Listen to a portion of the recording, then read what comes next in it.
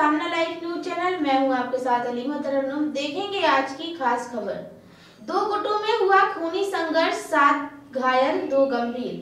मध्य प्रदेश छतरपुर ज़िले नौगांव थाना अंतर्गत ग्राम पंचायत पुतरिया में ट्रकों की अवैध वसूली को लेकर दो गुटों में खूनी संघर्ष हो गया।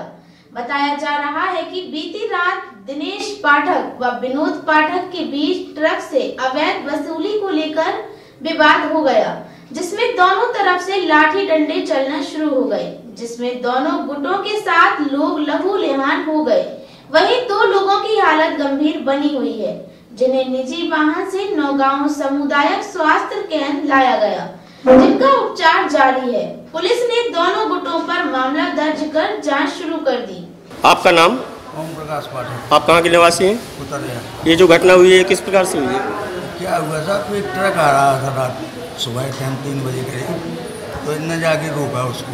किन ने विनोद पाठक। और पुजारी वो एक यादव लड़का था पुजारी। अच्छा अच्छा। इन्होंने उससे सोलह हज़ार रुपये पंद्रह हज़ार रुपये ले लिए। ड्राइवर ने फ़ोन लगाया हमको। तो हमने इनसे पूछा कि भैया क्या क्यों नहीं है?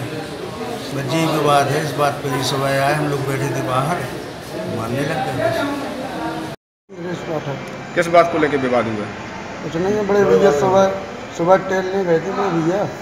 तो उनको मारा पहले। किसने मारा?